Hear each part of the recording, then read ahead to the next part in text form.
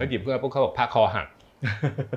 แล้วทำแบบนี้ทำแบบฝึกหัดอะจากการไปเดินตลาดที่นู่นที่นี่ที่นั่นที่นั่นเนี่ยอยู่ประมาณสักกี่ปีถึงโอ้ยถึงเชี่ยวชาญแล้วก็มาเปิดร้านตัวเอง ก็ยังไม่ถึงกับเชี่ยวชาญนะนะอืมคือ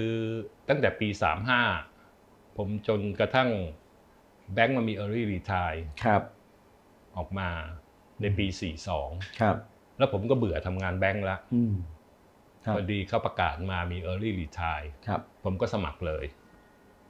สมัครสมัคร early รีทายครับ retire ออกเอมาอเออเออจนผมครับไปสมัคร early retire เนี่ย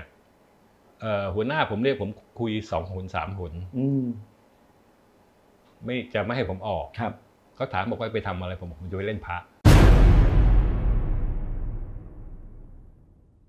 บอกแล้วมันจะพอเหรอรายได้อะเออเออแกครับครับแกด้วยความหวังดีครับเออแล้วมันจะพอรายได้มันจะพอเหรอ